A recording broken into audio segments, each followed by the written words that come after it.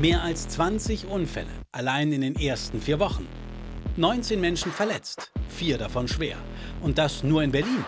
Es ist die traurige Bilanz des ersten Monats mit E-Scootern.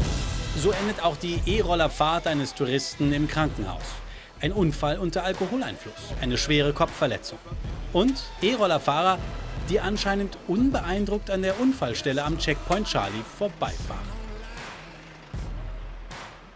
Seit dem 15. Juni dürfen Elektro-Tretroller im Straßenverkehr genutzt werden. Seitdem kommt es immer wieder zu Unfällen mit den gehypten Scootern. Die Hauptunfallursache Unachtsamkeit bei der Benutzung. Verstöße wie das Fahren zu zweit oder auf dem Gehweg muss die Polizei fast täglich regeln.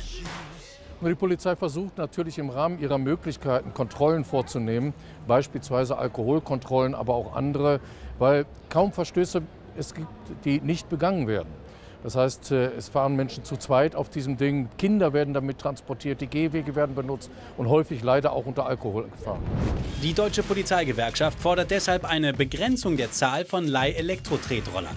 Denn die deutschen Großstädte werden regelrecht von den Scootern überflutet.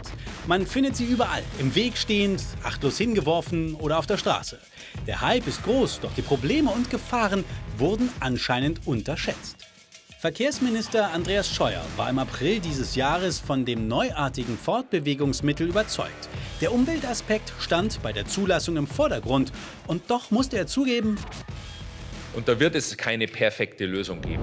Wurden die E-Roller vielleicht doch zu voreilig in Deutschland zugelassen? Benutzen dürfen die Flitzer alle ab 14 Jahren.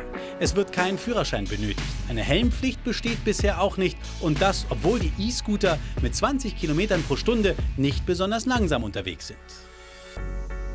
In England starb kürzlich die bekannte YouTuberin Emily Hartridge. Die 35-Jährige war mit einem E-Scooter unterwegs und wurde von einem Lastwagen erfasst, wie die Polizei mitteilte. Trotz fast täglicher Schockmeldungen wie dieser wird die Gefahr, die von den E-Rollern ausgehen kann, unterschätzt.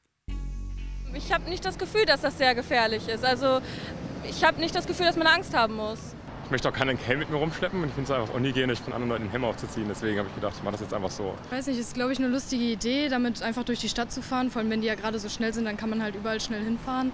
Auch der 25-jährige Arian hat die Gefahr unterschätzt.